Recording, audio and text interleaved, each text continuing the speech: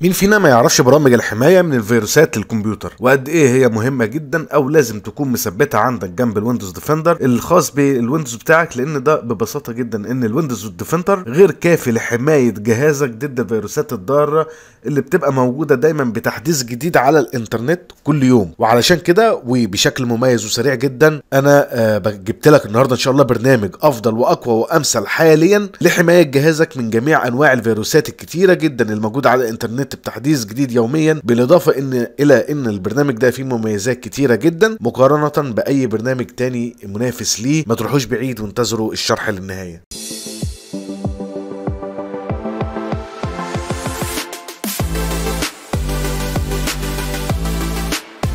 السلام عليكم ورحمة الله وبركاته أحبائي في الله من كل مكان يا رب تكونوا بخير. آه إن شاء الله ندخل في موضوع الدرس على طول. النهارده زي ما أنا اتكلمت في مقدمة الفيديو إننا إن شاء الله معايا برنامج آه فعلا جبار جدا لحماية جهازك من جميع أنواع الفيروسات الموجودة حاليا في الإنترنت بتحديث جديد يوميا لأن في أنواع جديدة نزلت قوي ف أنا بدور على طريقة الحماية الأول عشان تقدر تشتغل على الجهاز بتاعك. البرنامج اللي معانا النهارده والمقصود بيه من مقدمة الفيديو هو ال Malware Hunter والبرنامج ده جميل جدا.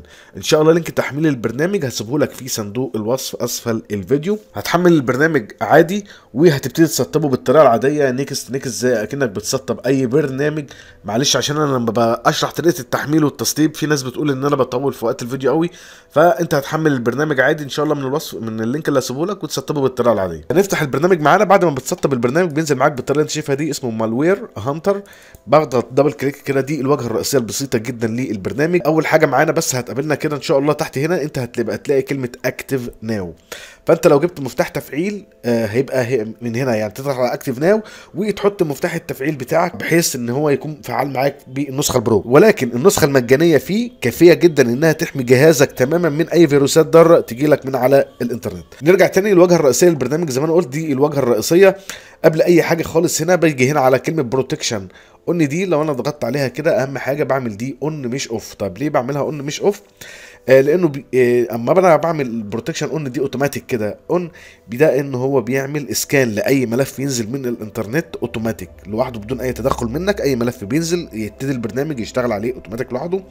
تاني حاجة إنه بيعمل scan لأي فلاشه بتركب على الكمبيوتر أو card أو أي هارد خارجي مثلا برضه اوتوماتيك بدون تدخل منك. يبقى أي ملف ينزل أو أي هارد يركب بيبتدي إن هو يشتغل عليها اوتوماتيك يعمل لها scan لو فيها أي فيروسات يحجزها أو يدلتها اوتوماتيك نرجع تاني للواجهه الرئيسية واللي هو ال virus scan. ال virus scan دي طبعا دي الواجهه الرئيسية للبرنامج. عندنا فيها ثلاث أيقونات وهو ال quick scan ال full scan وال custom scan. هنشرح كل واحدة. أول حاجة معانا وهو ال quick scan وده إيه؟ ده الفحص السريع للكمبيوتر. وده مثلا بيتأكد إن ملفات النظام بتاعتك شغالة كويس وما فيهاش أي ضرر ما فيش حاجة مصابة بأي فيروسات أو أي حاجة. فده كلمة الفحص السريع. بيعمل فحص سريع للجهاز عندك بصورة سريعة جدا. تاني أيقونة معانا وهي أيقونة الفول سكان وهو باين طبعا من اسمه على كلمة الفول سكان. طب بيعمل إيه هنا؟ ده هو بيعمل من اسمه كده بيعمل فحص أو سكان كامل لكل مكان عندك في الكمبيوتر بتاعك ولكن هتاخد وقت شوية. يعني إيه؟ يعني على حسب الملفات الموجودة عندك على الجهاز بتاعك أو على ال partition. بياخد وقت في المساحة شوية في إن هو بيشتغل. طب ده كله ليه؟ ده طبعا لأن هو بيعمل فحص الحتة حتة في الملفات الموجودة عندك على الجهاز. وطبعا أنصحك بيها لو أنت شاكك في الجهاز بتاعك أو إن عليه فيروسات آه أنصحك إن أنت تشتغل بيه ال full scan. تمام؟ أجي هنا آه أيقونة وهي ال custom scan إيه هي ال custom scan دي اللي هي لو أنا مثلا عايز أحدد ان أنا اللي اتحكم فيه ان أنا عايز اعمل scan على folder معين أو على partition معين ببتدي ان أنا انزل كده اختار ال partition اللي أنا عايزه مثلا أي partition أنا عايزه وأقول له okay هنا كده وبيبتدي إن هو يعمل عليه scan automatic لوحده لل partition ده بس. يبقى أنا ما بعملش غير على ال partition ده بس. يبقى من هنا إن أنا بحدد أي folder أو أي partition أنا عايز أعمل عليه بس مش عايز أعمل على كل الجهاز بتاعنا. لو قبل ما نسيب الصفحة دي لو نزلنا تحت كده على كلمة quarantine هنا دي إيه دي اللي كده سله مهملات خاصة بالبرنامج أو بمعنى أصح الفيروسات اللي هي تم العثور عليها من خلال البرنامج بيحجزها لك هنا مش بيمسحها أوتوماتيك أو بطريقة مباشرة طبعا لأن ليك الحرية إنك ممكن تعمل لها delete أنت أو ممكن تعمل لو في برنامج أنت شايف إن هو مش فيروس ممكن أنت تعمل له استعادة تاني لملفات الجهاز عندك أو للمكان بتاعه. تاني أيقونة معانا إيه هي؟ أو تاني قايمه معانا وهي قائمة ال speed up. إيه هي ال speed up دي فيها كده شوية آه، مليانة مميزات من البرنامج؟ طبعا جميلة جدا كلها. أول قائمة معانا وهي قائمة ال startup طب إيه قائمة ال startup دي يا عم أحمد؟ دي جميع البرامج اللي بتشتغل مع ال Windows. يعني إيه؟ شفت أنت لما بقول لك مثلا من ال Task Manager هات ال startup اللي هي بتقوم بمهام المكان ده. من ال startup لو أنت من ال Task Manager لو جبت ال startup دي البرامج اللي بتشتغل معاك في البداية وأنت بتقدر تعمل لها disable و enable من هنا. فهو هنا البرنامج جايبها لك. دي جميع البرامج الموجودة عندك اللي بتشتغل مع بداية ال Windows بتاعك وبتبتدي إن هي إيه إن هي بتكون متقلة ال Windows شوية. تمام يا شباب؟ فأنت أنت هتفتح دي وتشوف البرامج اللي أنت مش عايزها. عايز تعمل لها disable اعمل لها disable وسيب اللي أنت عايزه بس يشتغل مع الجهاز. تاني حاجة اللي هي ال scheduled tasks ودي لو إحنا دوسنا عليها كده طب إيه هي تاني أيقونة دي؟ دي مهمات مجدولة. يعني إيه؟ يعني كل برنامج من دول من البرامج اللي قدامك دي بيكون ليه مهمة إنه ينفذها. فبتكون مجدولة. وظاهرة معاك هنا فأنت برضو تقدر من هنا تقفل أي برنامج أو مهمة مجدولة على أي برنامج أنت مش عايزها. دي تاني حاجة. طيب التالت حاجة معانا إيه؟ وهي ال application service طيب إيه هي ال application service دي يا عم أحمد؟ دي الخدمات الخاصة بالبرامج المثبتة عندك. يعني إيه؟ يعني مثلا في برنامج بيكون ليه ملفات في النظام. نركز يكون في ملفات للنظام. فالملفات دي بيكون شغالة معاك في الخلفية على حس البرنامج ده. تمام يا شباب؟ فانت من هنا لو عايز توقف أي خدمات خاصة بأي برنامج عندك على الجهاز هتبتدي برضو إن أنت تخش توقفها من الطريقة دي وده بيساعد على سرعة وتحسين الرامات وبيقل الضغط شوية على الهارد بتاعك وسرعة الجهاز عندك. دي كده كانت ثالث حاجة. أما رابع حاجة معانا ال system service ال system service هنا من الآخر كده دي أنا أنصحك لو أنت مش عارف أي حاجة هنا فبلاش تقفل أي حاجة علشان ما تعملش مشكلة في ال Windows.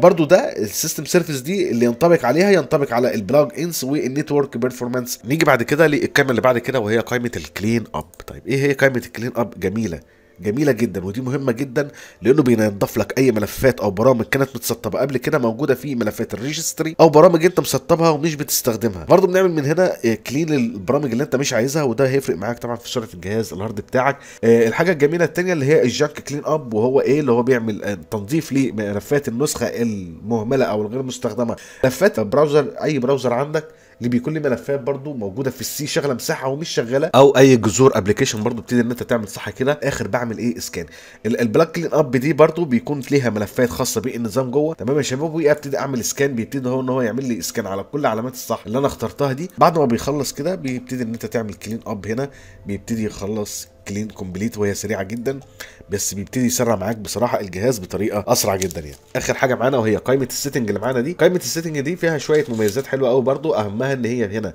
المكالمه الأولى دي أن أنا أقدر أغير اللغة للغة العربية من هنا كده زي ما أنت شايف. بيبتدي البرنامج ينزل معاك باللغة العربية. آه تاني حاجة معانا وهي فحص الفيروسات. فحص الفيروسات دي فيها حاجة مهمة جدا جدا وهنا بيقول لك فحص الملفات المضغوطة في الفحص الكامل. يعني أنا لو عندي أي ملف ونر أو أي ملف تاني مضغوط بيبتدي إن البرنامج يشتغل عليه اوتوماتيك بدون فك ضغطه حتى لو هو لسه نازل من عندك. تاني حاجة معانا وهو الفحص المجدول ده إن أنا ممكن إن أنا أقدر أعمل فحص مجدول مثلا كل 3 4 أيام أو كل أسبوع مرة إن البرنامج ده بيظبط الوقت بتاعه فحص سريع ولا فحص, فحص كامل وأبتدي اعمل له الجدولة بتاعته أنا عايزه كل قد إيه. ومثلا ببتدي أظبط اليوم والوقت بيبتدي يشتغل بس طبعا ما يعني ما حدش يقول إن هو ما اشتغلش معايا والجهاز مطفي. قائمه الثقة دي إيه قائمه الثقة دي؟ من هنا أنا ممكن أدوس هنا على كلمة إضافة مجلد أو إضافة ملف كده ولو أنا عندي مثلا أي ملف أنا واثق فيه إن هو مش متفيروس أو أي حاجة بحيث لما أجي أعمل سكان على الجهاز عندي ما ياخدش الملف ده ويضيع لي وقت. تمام يا شباب؟ دي كل الإعدادات الخاصة. طيب في إيه اللي هيبقى لي هنا؟ في على الثلاث شرط فوق دي كده لو أنا ضغطت عليه ونزلت على السجل هنا كده من هنا بيجي لي إيه؟ هو فحص كام مرة عملت فحص الفيروسات السجل الخاص بالملفات اللي أنا حملتها النهارده من على الإنترنت. حظر السلوك. طب يعني إيه حظر السلوك؟ دي لو أنا مثلا شاكك في سلوك برنامج معين واول لما نزل البرنامج اتعرف عليه وعمل له سكان وكله تمام. فهنا حظر السلوك ده لو البرنامج عمل أي حاجة أو استقبل أي فيروس أو حصل بيه أي حاجة بيجي لك هنا حظر السلوك بيقول لك البرنامج كذا عمل كذا كذا بتبتدي إن أنت تشيله. آخر حاجة هنا وهي التحديث للمنتج وسجل التحديث لقاعدة الفيروسات عندك. ده كده كل حاجة هنا في البرنامج. طيب هي تبقى حاجة واحدة بس وهو الشريط الجميل ده اللي هو بيبقى معاك على ال desktop وده جميل جدا. من هنا أقدر أعمل clean up بدل ما أفتح البرنامج وأخش وأعمل. من هنا بقدر أعمل clean up مرة واحدة لجميع ال- ال hard عندي. ومن هنا لو أنت عايز تبحث عن أي حاجة دي البرامج اللي أنت استخدمتها مؤخرا على ال desktop أو على الجهاز النهارده بيكون موجودة معاك هنا. أما ده وهو المستندات اللي أنت استخدمتها مؤخرا النهارده برضو أو خلال كام يوم. الثلاث شرط اللي هنا دول لو أنا ضغطت عليها كده بيبتدي يقول لك هنا ال clean up وال virus scan لو انت عايز تخش تعمل virus scan على طول. وهنا ال- الالوان بتاعه الخلفية اللي انت شايفها دي ممكن اختار أي لون من هنا كده وتبتدي تقل اللون وتخفف اللون. ودي قائمه ال settings ودي لو انت هتخرج خالص من البرنامج يا رب يكون البرنامج عاجبك وأفادك وما تخلوش يقف عندك واعمل share لغيرك عشان يستفيد. آه وما تبقاش بخيل معايا وانزل اعمل لي لايك على الفيديو واشترك بالقناة وفعل زر الجرس علشان يوصلك كل جديد. شكرا السلام عليكم.